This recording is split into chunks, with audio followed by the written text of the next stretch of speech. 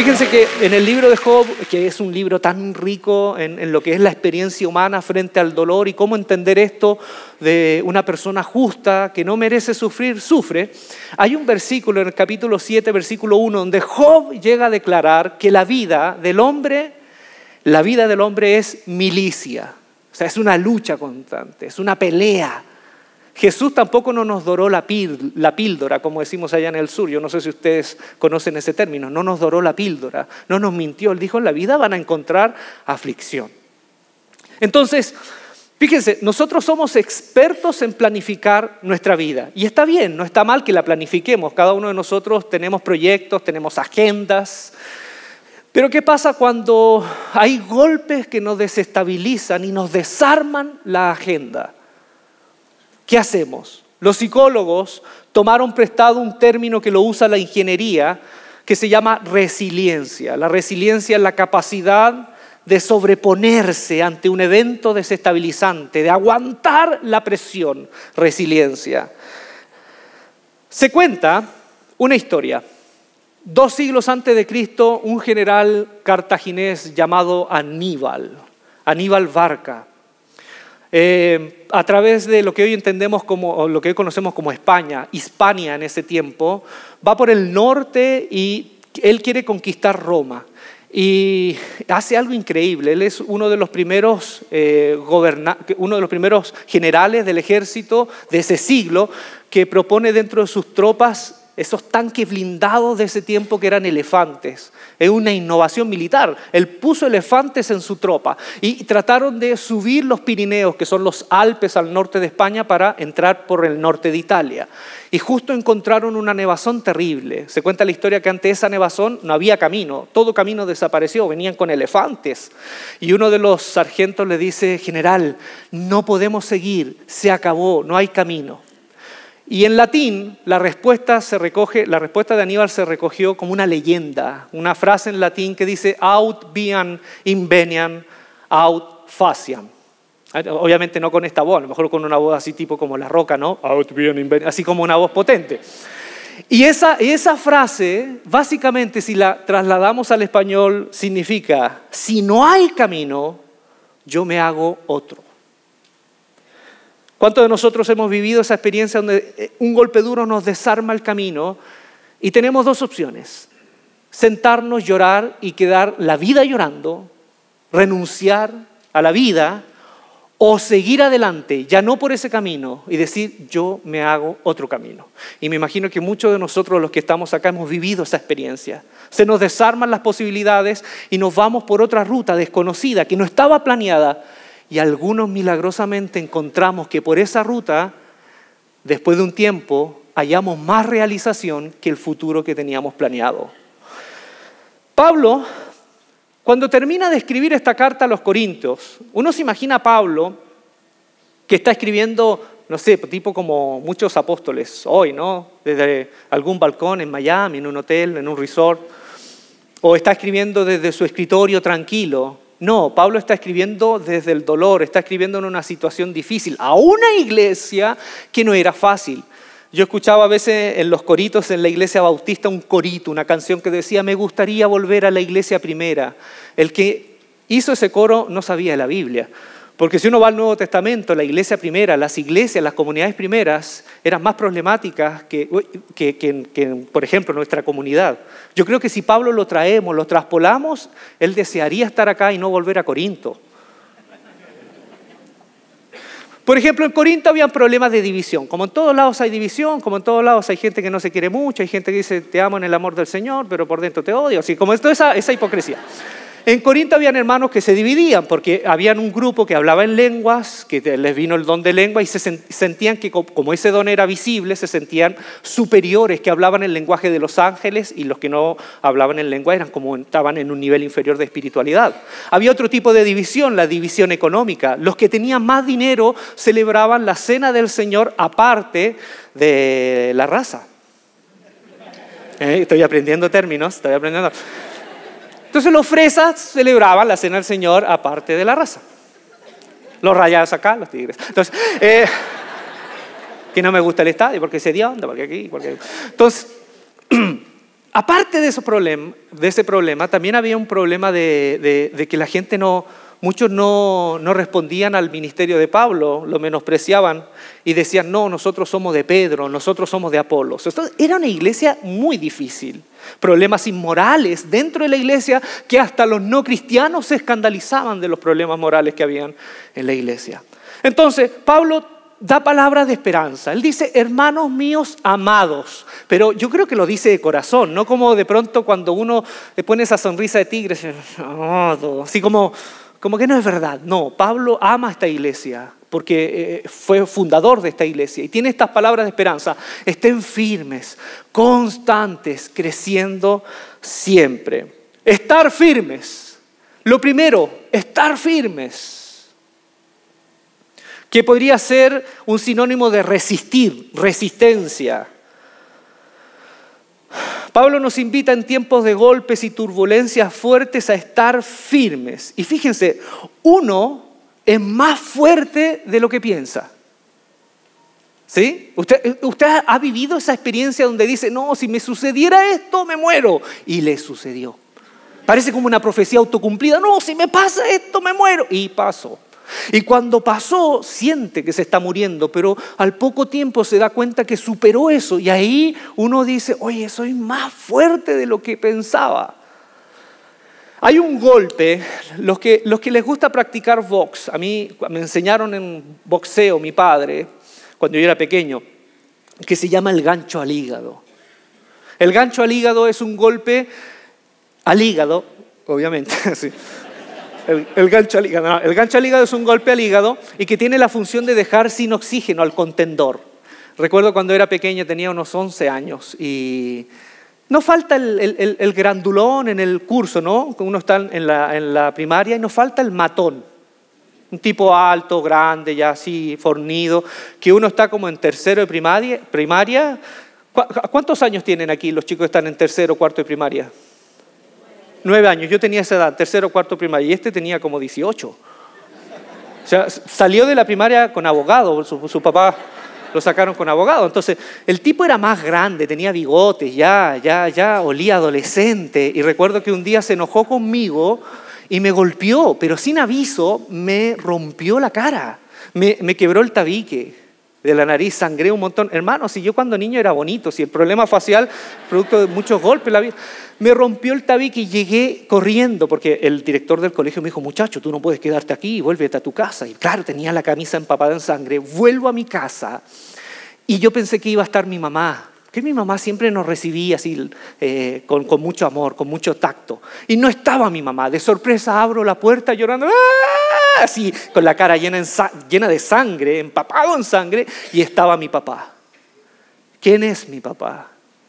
Exboxeador, marino, un hombre duro, ha trabajó incluso en minas de oro. Las manos de mi papá son unas cosas gigantes, es, casi un mutante, así como un, un X-Men, una cosa gigante, son unas manos y boxeador. Y dejó el boxeo porque mi mamá le pidió que lo dejara, no porque no le iba bien. Entonces mi papá me ve llorar y me pregunta, incluso me regaña, me dice, ¿quién te golpeó? Y le dije, no, muchacha. Y le expliqué y me dijo, te voy a enseñar a boxear para que nadie abuse de ti. Y yo pensé que se le iba a pasar, que iba a ser una cosa del momento. Al otro día, 6 de la mañana, me levanta. Comenzó el entrenamiento. Y comenzó el entrenamiento. Un, saco de papa de 50 kilos lo vació, le puso arena, le puso un gancho y el primer entrenamiento es golpea, golpea, golpea hasta que te sangren los nudillos. Miren, yo no creo en la reencarnación, pero si creyera, yo diría, este viejo fue nazi, o sea, estuvo en algún, en Auschwitz, estuvo en algún campo de concentración, porque no es normal. Y no, y puso, me acuerdo, un cordel y hacer las sombras del box.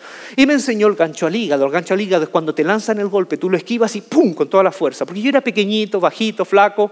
Entonces, esto es muy útil también, esposas. Porque a veces uno no tiene ulero, no tiene sartén, no tiene nada, una emergencia, ahí, y me hace pelear con mi hermano mayor, nueve años mayor que yo. Y mi papá le decía a mi hermano mayor, reviéntale la cara para que se haga hombre. Claro, para mi hermano eso era el minuto feliz, era lo más cercano al cielo. Y mi hermano gentilmente me enderezó el tabique me lo puso en su posición porque me lo quebró de nuevo. Entonces, ¿qué pasaba? Mi papá me hizo pelear, de verdad, un día, contando la historia ya corta, voy saliendo del colegio y mi papá me está esperando y mi papá dijo, ¿dónde está el grandulón que te golpeó? Y yo dije, mi papá le va a pegar. Llegó el día de la venganza del Señor y yo buscando animosamente al grandulón y cuando lo encontré, aquí está papá. Y él me dijo, ahora pelea con él. Para no hacer el cuento más largo, peleé con él él me lanzó un golpe, ya tenía más expertise, le di un gancho al hígado y de verdad lo dejé sin oxígeno. Fue una cosa impresionante. Todo el colegio pasmado guardó silencio porque este Goliat, ¿no? Quedó sin oxígeno. El problema es que ah, después fue otro problema, porque yo celebré tanto que había quedado sin oxígeno que perdí 10 segundos vitales y me terminó reventándome la cara. Entonces, todos alguna vez hemos recibido un gancho al hígado la partida de un ser querido, un gancho al hígado de la vida. Porque cualquiera te puede golpear, pero la vida golpea más fuerte que nadie. La partida de un ser querido, el abandono de esa persona que decía amarte y que de pronto agarra sus valijas y el único recuerdo que quedó de tu, de tu matrimonio y de tu familia fueron fotos pegadas en la pared. La enfermedad de tu hijo, el vivir distanciado de quienes amas, la rebeldía de tu hija, el que el diagnóstico del doctor sea desalentador y tienes que cargar con una enfermedad para el resto de tu vida. ¿Qué hacer cuando recibes un gancho al hígado y que sea un gancho de la vida? Pablo dice, estar firmes. Estar firmes significa también aceptar los límites, aceptar la realidad, que hay cosas que no vamos a poder cambiar. Si se fue esa persona que supuestamente te decía amar y tú amas, se fue y, te abandonó y se fue con otra persona. Tú no puedes obligar, o sea, nadie puede obligar a otro a que tome las decisiones que solo él o ella puede tomar. Entonces hay que aceptar los límites.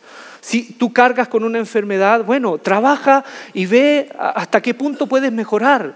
Pero todos sabemos que hay cosas que hay cosas que debemos aceptar, porque si no, no las aceptamos, va a ser un infierno emocional. Entonces, estar firme significa asumir la realidad como es. Creer en lo imposible, en un Dios de imposible. Sí, creer en un Dios de imposible, pero comienza a trabajar con aquello que es posible. Y déjale los resultados a Dios. Entonces en ese momento lo único que queda es abandonarse impotente en las manos y resistir, resistir, resistir, que ya poco a poco la vida irá doliendo menos. ¿Se acuerdan el relato de Moisés cuando Moisés viene saliendo con el pueblo de Egipto? Vienen saliendo y llegan al Mar Rojo y de pronto el pueblo comienza a sentir un ruido y ve que viene el, ejército más poderoso del mundo viene pisándole los talones y empiezan a reclamar, ah, Dios nos trajo acá, nos va a matar.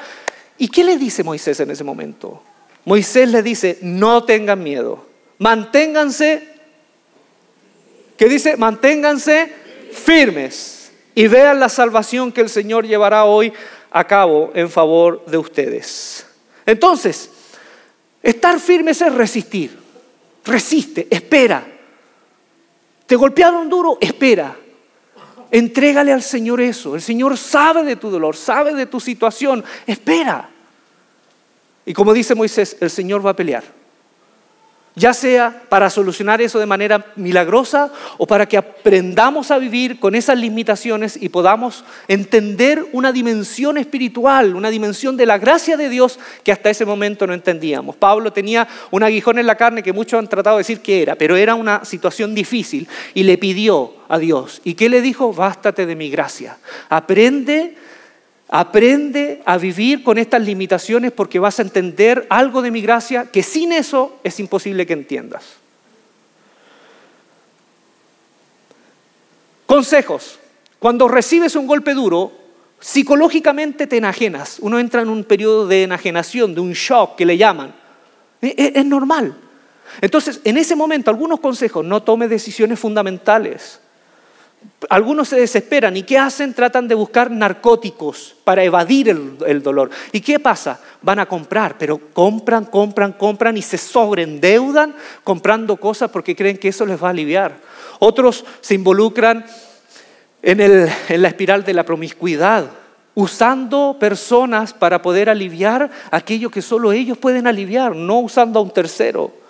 O otros, por ejemplo, empiezan a hablar más de la cuenta. Por ejemplo, un, consejo, si usted me, permite, si tú tienes un problema con, con tu pareja que es grave, busca ayuda, pero tampoco esparzas por todo el mundo lo que te está sucediendo ahí a puertas, puertas adentro con tu pareja. Porque me ha pasado, a veces yo he visto que en la desesperación, y entiendo, una persona que se siente mal, se siente abusada, golpeada o golpeado o, anulado, empieza a llamar por teléfono a medio mundo y toda la iglesia sabe de la circunstancia que vive esa pareja. ¿Y qué pasa? Después vemos en Facebook que se, que se restauran, que bien, ¿no? Y se sacan fotos y dicen, es el amor de mi vida. Y uno se pregunta, oye, pero hace dos semanas me decía que era la encarnación del diablo. Entonces, tengan cuidado en ese momento, tengan cuidado. Yo siempre he aprendido, y hoy lo aprendo mucho más, que si uno, que el lobo siempre va a ser feroz si uno escucha solo la versión de la caperucita. Pero si escuchara la versión del lobo, posiblemente hay otros componentes. Entonces, firmes. Después Pablo nos dice constantes. La misma historia del Éxodo, fíjense, cuando Moisés termina de decir, Dios va a pelear por nosotros, debemos estar tranquilos. Dios, en un momento, me imagino, Moisés mira a Dios y dice, ya Señor, pero ¿qué vamos a hacer? Y ¿saben lo que Dios le responde? Le dice esto, ¿por qué clamas a mí? Ordena a los israelitas que se pongan en marcha y tú levanta tu vara, extiende tu brazo sobre el mar y divide las aguas. Entonces, la constancia no es solo estar firmes, hay un momento para resistir, para llorar, para sentirse mal, para acostarse y no querer levantarse. Hay un momento, es humano, un momento de shock, pero hay un momento para levantarse. Y ahí es constante, constancia. Miren lo que le dice Dios, deja de orar, deja de clamar. Ahora ponte delante del mar y dile a la gente que comience a caminar. Hay un momento para gritar, para clamar, para desesperarse, pero hay un momento para enfocarse y comenzar a caminar. No te puedes quedar toda la vida llorando. Entonces, ¿qué es persistencia o constancia? Es la suma de pequeños esfuerzos que comienzan con pequeños pasos. Nadie te está pidiendo, ni nadie nos pide en un momento de dolor dar un gran paso, un gran salto, no. El camino a la sanación a veces es hasta gateando, paso a paso, pequeñas metas, día a día. No te desesperes, pero no, no te quedes ahí. Comienza a dar pequeños pasos. Hay un momento para llorar, pero debe llegar el momento para levantarse, ver las posibilidades que tengo y comenzar a dar pequeños pasos de fe. Fíjense el, el antiguo refrán, que Roma no se hizo en un día. Y la restauración no se puede hacer en un día. Pero como estamos en la sociedad del mínimo esfuerzo, queremos todo ya, ya, ya, ya. No, toma su tiempo. Aprende a conocer tu reloj interno. Aprende a conocer ese reloj interno, cómo son tus procesos, cómo Dios trabaja en ti. Y no te saltes etapas. El verdadero éxito viene de la mano de la constancia como cuando uno ve un río, ¿han visto esos, ríos que de pronto ven unas piedras que tienen una forma espectacular y es simplemente el, caudal del agua que por tiempo y tiempo y tiempo van formando la piedra? Y uno se pregunta, ¿cómo el agua, que parece tan, eh, tan suave, tan pacífica, tan calma, puede moldear la piedra? ¿Cómo lo puede hacer? Con constancia constancia. Pero como somos latinos, nos falta la constancia. Nos falta la constancia. Mire, nos inscribimos al gimnasio. Necesitamos constancia. Pero en la primera clase del, gimnasio, la primera clase, ¿cómo llegamos a la casa? Llegamos todos doloridos así, y, con calambre en todos lados. Entonces, dos, tres días, cuatro días, y dejamos el gimnasio. Decimos un día, un día que digamos, no, no voy a ir hoy. Y de pronto te das cuenta y ya han pasado tres, meses y no, no volviste. Comenzamos a leer un libro, este libro me lo voy a comenzar a leer. y, no lo terminamos. Y ahí hay una ruma de libros que no han sido terminados. Queremos comenzar una dieta. Una dieta. ¿Y qué decimos? Y con, voz así de, de, estoico así. El lunes. El lunes comienzo la dieta. El lunes comienzo la dieta. Y fíjense que nosotros somos tramposos porque no decimos este lunes. Sí, señores, este lunes comienzo. No, decimos el lunes. Porque ese el lunes es como una cosa que está en un limbo, así como una cosa así que no tiene forma, que puede ser este, puede ser este lunes, puede ser de la semana que viene, el de 2025, allá en la batalla de Armagedón cuando vuelva Cristo. Constancia. Estar firmes, constantes. Y lo último, creciendo siempre. Y la Biblia cuando dice siempre, es siempre. Eso quiere decir que todo momento es una oportunidad para crecer. Fíjense este salmo uno de los salmos más lindos que hay, Salmo 126, versículos 5 y 6. Los que siembran con lágrimas cosecharán con gritos de alegría. Lloran al ir sembrando sus semillas, pero regresarán cantando cuando traen la cosecha. Eso quiere decir, en otras palabras, que en el momento de dolor y de lágrimas es una oportunidad fecunda en tu vida para crecer. No desestimes las lágrimas. Charles Spurgeon, un predicador inglés, decía que las lágrimas son oración líquida. Son oraciones también. Dios conoce tu corazón.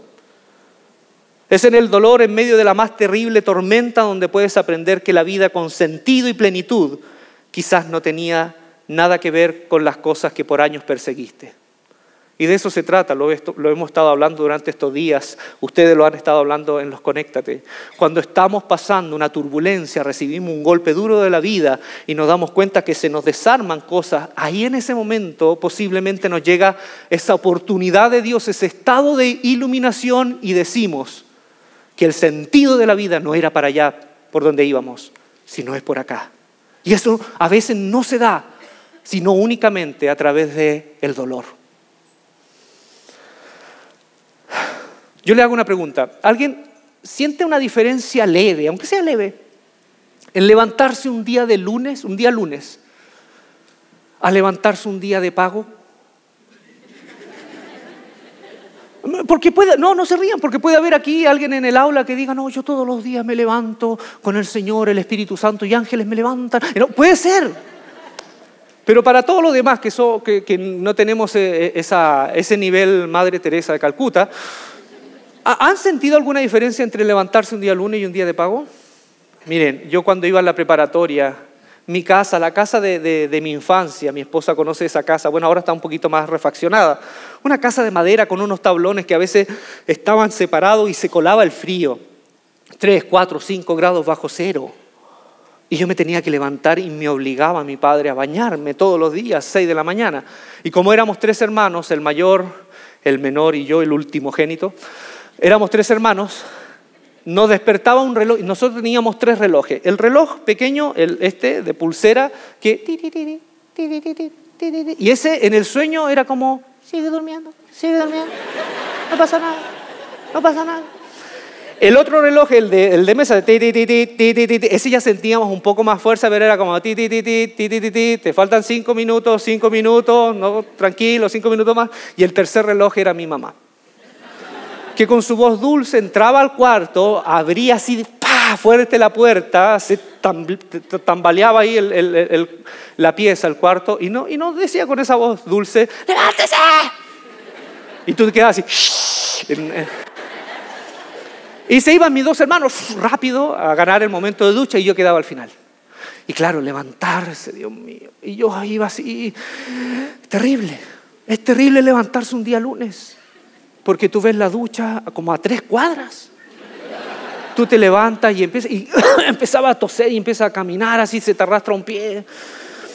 A mí me cuesta levantarme, es verdad, y tú te levantas y, tú, casi Walking Dead, así como caminando a. ¿Y a quién no le ha pasado cuando mira hacia atrás a la cama y qué hay en la cama? El molde de uno. en posición fetal. Y es hasta como un humito, a veces sale un vaho del calor y esa voz que te dice, vuelve, vuelve. Es terrible el día lunes. Pero cuando comencé a trabajar y empecé a recibir el salario, el día de pago era, era otra cosa, levantarse el día de pago. Tú te levantabas y escuchabas una música celestial. Levitabas, levitabas hacia la ducha. Y todo era genial, ¿no? Todo era genial. Entonces hay una diferencia. ¿Por qué lo digo? Termino con esto. Yo conozco a alguien que cuando dice algo, le creo. Él dijo, yo estaré con ustedes todos los días. Los días lunes y también los días de pago.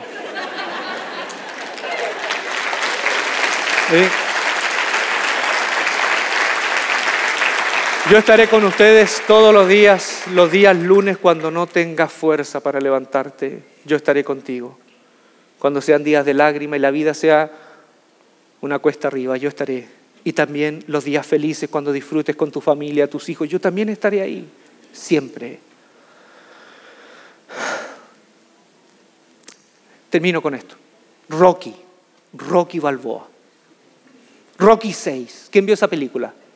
Cuando Rocky habla con su hijo. No Rocky 1 cuando dice, ese es Rocky 1. Rocky 6. Su hijo está distanciado de su padre. Y Rocky lo lleva a la puerta trasera por el, restaurante que tienen y, el hijo le dice, ah, todos, todos eh, llegan a mí porque en realidad quieren conocerte, eh, tú me has hecho mal, me quiero distanciar, has hecho locuras en tu vida. Y Rocky tan sereno le dice, hijo, cuando tú eras pequeño yo podía sostenerte en esta mano. Y con tu mamá decíamos, este muchacho va, a llegar muy lejos, va a ser el mejor hombre, el mejor hijo. Y creciste y todo bien, pero algo te sucedió en el camino. De pronto empezaron a pasarte cosas malas, muy malas, porque así es la vida. Y tú comenzaste a culpar siempre a terceras personas, como una gran sombra que te seguía. Quiero decirte esto, hijo, el mundo no es un lugar rosa, no es un lugar de flores, no es un jardín de rosas. El mundo es un lugar cruel. Y si hay alguien que te va a golpear duro, va a ser la vida. Y la vida te va a golpear tan duro que te va a dejar arrodillado. Aprende esto, hijo. Las personas fuertes en la vida, las verdaderamente fuertes, no son aquellos que golpean duro. Las verdaderamente fuertes son aquellos que recibiendo los golpes duros de la vida caen al suelo, pero se levantan una vez y otra vez y otra vez para seguir peleando. Estar firmes. Resiste el golpe. Constantes. En algún momento tienes que levantarte y avanzar, aunque sea gateando y creciendo siempre. Agradece todos esos momentos. Este momento que estás viviendo, este momento que estás viviendo, agradecelo, porque puede ser la oportunidad de Dios para que sigas creciendo. Porque Él va a estar contigo todos los días, los días lunes, y también los días de pago. Amén.